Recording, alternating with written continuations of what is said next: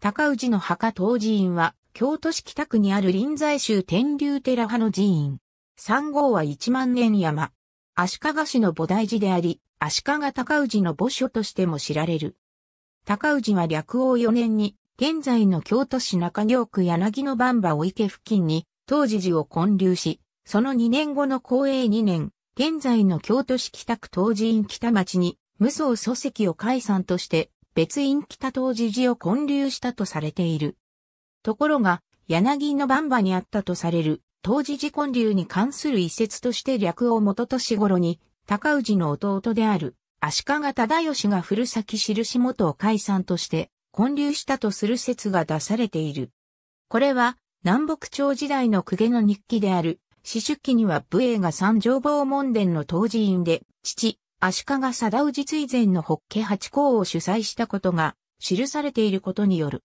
ここに登場する当時院は、後の当時寺のことで、その林地には、忠義の三条坊門殿があり、当時院も元は忠義が一門のために建てた自仏堂であったと推定する考えである。公営元年頃に、当時院が諸山に除せられた際に事号を当時寺と定めたという。また、当院はそもそも仁和寺の一院であったが、略王4年に当時寺の別院となったとも言う。保祥寺の越鎮が当時寺にて足利忠義に太平記を見せられたという逸話も、当時の当時寺が忠義ゆかりの寺院であったことを示すものとされている。なお、後に忠義は、感動の上乱によって滅亡し、三条坊門殿は、高氏の着男、足利義明の邸宅になり、当時寺も義明が管理するところとなった。忠義伊達立説によれば、一連の戦乱で、当時寺も大きな被害を受けたために高氏は同時を足利市の菩提寺にふさわしいものに大改築を行っているが、その際に自伝を改ざんして、解散を無双祖籍とするとともに、当時寺建流における忠義と古崎印元の自責を抹殺したとしている。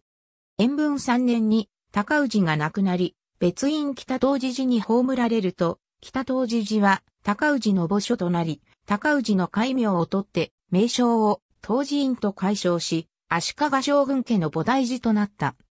その後、長六年間に焼けたが、応仁の乱で柳の番場の本寺、当時寺が消失したため、別院、当時院は本寺の当時寺を九州合併した。しかし、室町幕府の衰退に伴って、次第に衰微していった。慶長11年、豊臣秀頼により、片桐勝元を奉行として再興される。江戸幕府により、治療326国が安堵される。文化5年、火災によって多くの建物を消失するが、文政年間に復興する。しかし、明治時代になると多くの達中が廃止された。1921年、牧野正造が当時院達中跡地に牧野教育映画制作所と映画撮影所を設けた。撮影所は1933年まで存続した。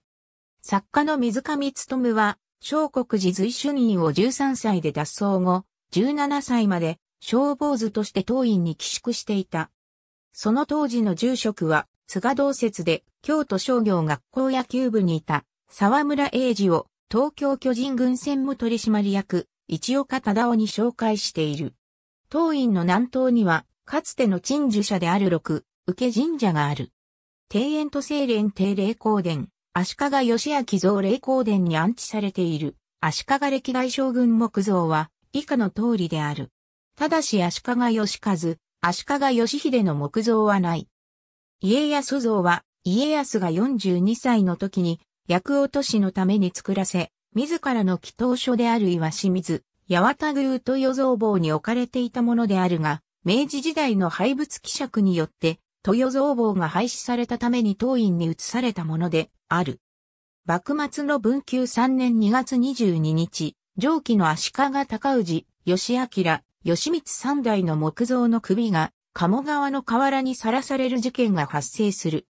これは将軍への批判と捉えられ、京都守護職の松平片森は厳重な捜査を命じ、同年8月に犯人は処刑された。ありがとうございます。